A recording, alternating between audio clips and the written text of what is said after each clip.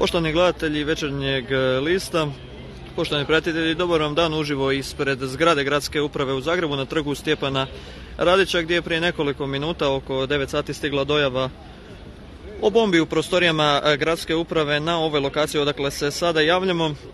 Policija je vrlo brzo stigla na mjesto događaja i osiguranje iz same zgrade reagiralo te je e, nekoliko desetaka zaposlenika iz cijele zgrade evakuirano. Evakuacija traje i u ovim trenucima još uvijek, a policija dolazi sa još e, automobila, očekuju se i jedinice za protueksplozivni pregled ovdje na trgu Stjepana Radića.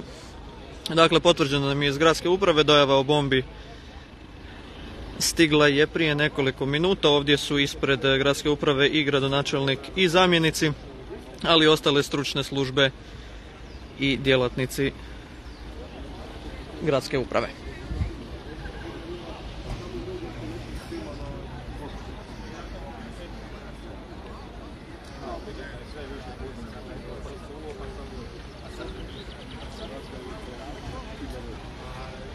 to sad, ja sam, to sad